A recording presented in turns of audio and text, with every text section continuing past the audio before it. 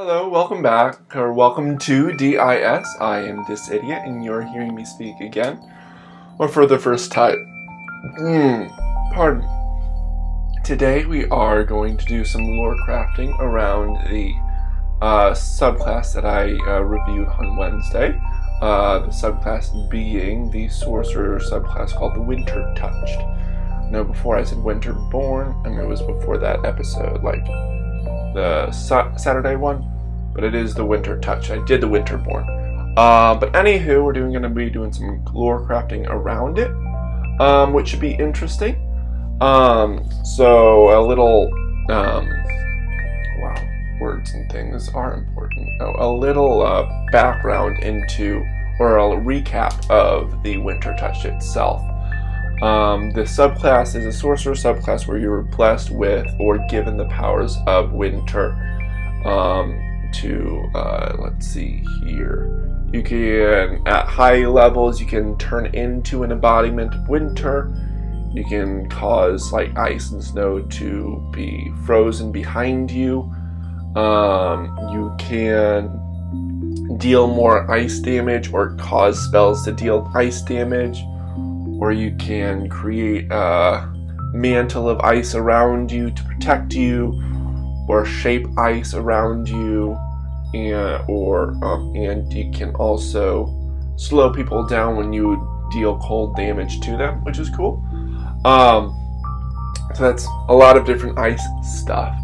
Um, and thinking of lore around this, um, what's cool with sorcerers are those these are like born, either born with or blessed with. So there's already lore in there where it's either maybe you sur- somehow survived a harsh winter and the frost seeped so far into your bones and your uh, body that it permeated into your soul. And now you have these strange ice powers. Um, it could be you're just somehow magically born with it kind of like elsa in frozen. Um, although her, powers are she's like a level 20 sorcerer or whatever um, because she's so powerful. But besides that yeah um, it doesn't necessarily have to be someone from like the arctic pole or in winter um, maybe uh, some kind of fae bless them with it just for fun and you have to deal with it. Um, but i feel like with any of these, uh, the winter touched sorcerer, however prevalent it may be, they probably would get uh, titles around them, and there could be like um, like rumors about them, like maybe the farmers having heard of the person's the individual's arrival, they would be like, "Hey, we'll pay you to just not do anything around our like livestock or our farms so that we can continue farming it. Um, or uh, stuff like that, or maybe helping to thaw things or cool things down. Maybe uh, you uh, you create your own ice creating business that um, to help chill different um, uh, drinks or different foods or whatever.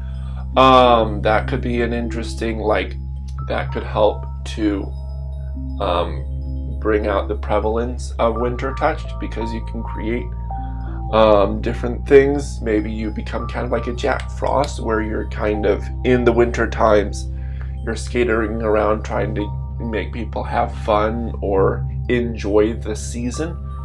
Um, or it could even be something with like the elemental forces are out of whack and you're uh, given the power uh, given the power of ice to deal with the heat of fire to combat that to help cool it down or whatever. Um, let's see here.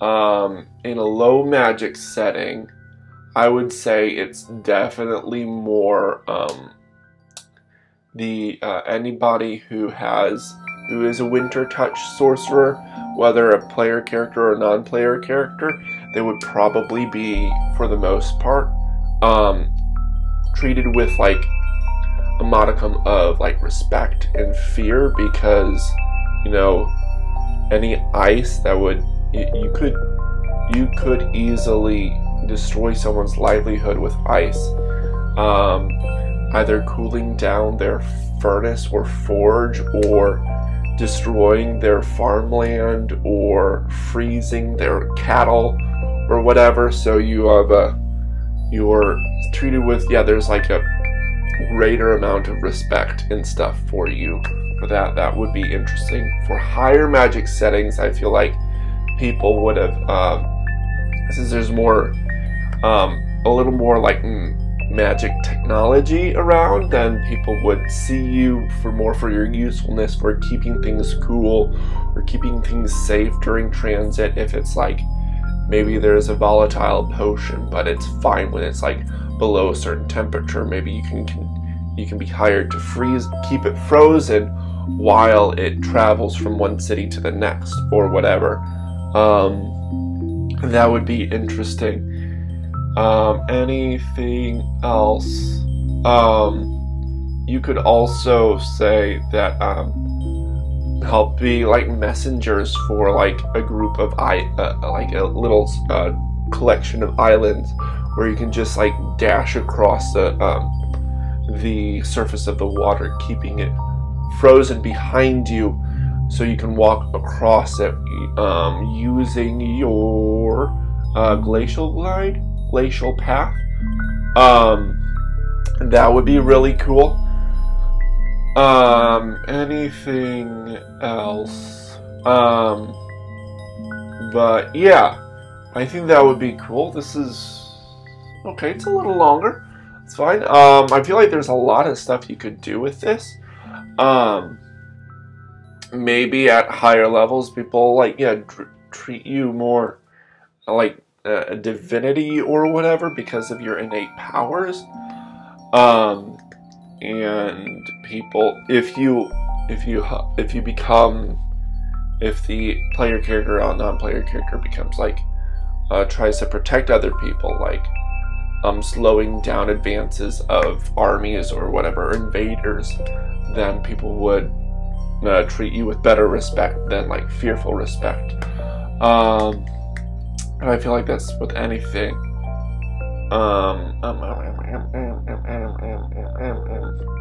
you could also become a um, helpful, uh, maybe kind of guide in like any hot and arid environments, like a desert, as you keep try to keep things cool with your frost magic uh, or winter touch magic. That would be interesting. Um, anything else? Anything else?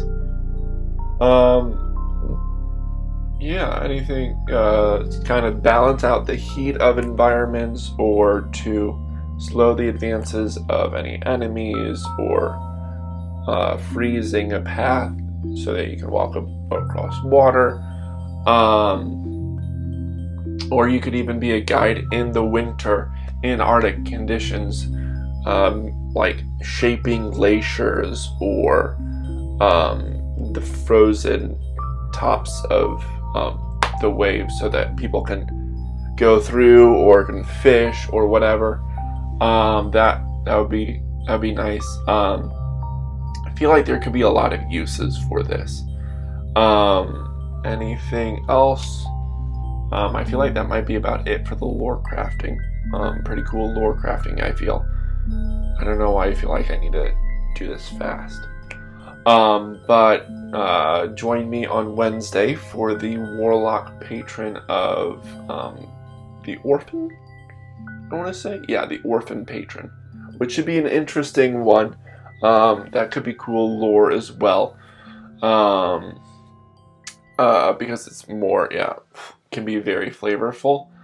Um, you can go ahead and check out my YouTubes and my uh, little world snippets as of uh, uh, right uh, as of not as of posting, but as of uh, videotaping this.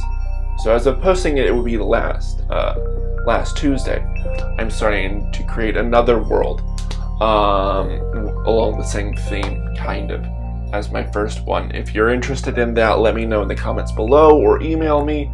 Um, along with commenting down below any lore that you would craft around this um, or any interesting thoughts around the Winter Touch Sorcerer. Um, along with if you want to comment down below or email me about joining my team to create better and better quality videos, maybe more videos too, depending. Um, anything else? Um, of course, I want to uh, give a shout out or uh, keep uh, in our minds the idea of the bar inspired, uh, the bar inspired D and D inspired bar idea that my younger sister has. Um, that'll that's gonna be in the future, but keeping that on our mind so that we can maybe talk, keep talking about that. Um, let's see here. Anything else? Not that I can think of.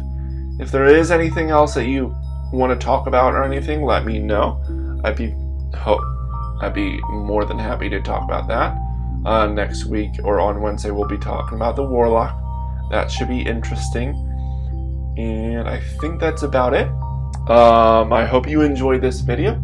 Uh, if you did, don't forget, uh, please uh, like, uh, comment down below, subscribe if you haven't, um, click the notification bell, any everything that YouTube likes, so I can, you know, get more viewers and stuff. If you want to share this with anybody that you can think of, uh, that would be wonderful too. Um, and I think that's about it my uh, previous episode, the one of the Winter Touch Sorcerer. So if you want to see, uh, actually see the review of that and anything there, and the channel subscription or channel page, um, I don't think there's anything else. I will see you guys in the next video for the Warlock patron of the uh, the orphan patron or patron orphan, whatever that's called. All right, I'll see you guys later. Dis Idiot out.